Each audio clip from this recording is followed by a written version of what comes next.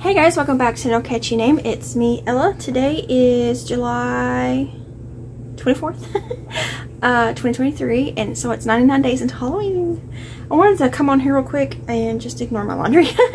um, show you the blanket like with me standing up holding it so you get an idea of the size that it currently is. And then we can see how big it grows. I guess I could measure it too, but well, you know, whatever. I'm just gonna hold it up.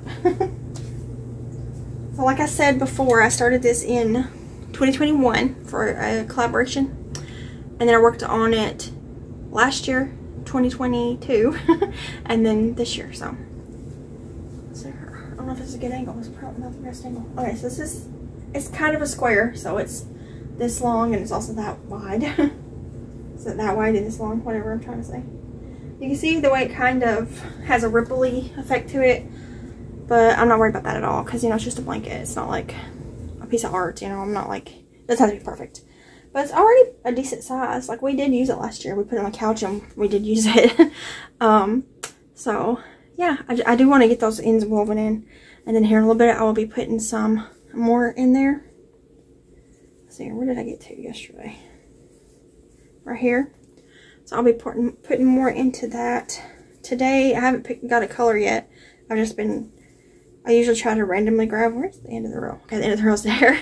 so, um, I don't have a whole lot of scrap balls in the colors that I want to put in this blanket. I'm trying to keep the colors, you know, these bright and black Halloweeny type colors. Um, so when I run out of scrap balls, I will probably just grab random amounts out, you know, grab a, a floppy skein and attach it and use some of it and then just, you know, eyeball and cut it and do that again later, you know uh, yeah. And someone's mentioned that I should start putting some bones or something on it too. So I might do that this time around. I might put different appliques instead of just the spiders and the eyeballs. so I might look for some different appliques that are kind of small or come up with my own little patterns because the spiders is my own little thing. I think I made eyeballs too. I don't remember. I have to go back and look at my old videos. But anyways, I just wanted to show you like the size of it with me standing up. I said in the video the other day that I'm 5'8". I'm not 5'8". I'm 5'7". I don't know why I said 5'8". But, um, anyways, you know, it's basically the same thing. so I'm going to put some yarn in this and that'll be today. but the video that I watched, the movie, is Pearl. And it was also on Paramount Plus, which is a paid subscription uh, service. and it was a really good movie. I had seen a lot of like clips of it on different you know, like TikTok and stuff. Um, and I've been wanting to see it forever, and I've, I've seen that it was on there, so I wanted to watch it. Um, it's basically, uh, it's about this girl. I know it's a prequel. I haven't seen the movie that it's this, like the second one. uh, and it's not anywhere to stream for free, so I have to wait to rent it or um, it to be put on something. But it's just called X, like the letter X. Um, anyways, Pearl is about like this girl who lives in like it's like in I don't even know what time it is. It's during World War One, I, I believe. I think so.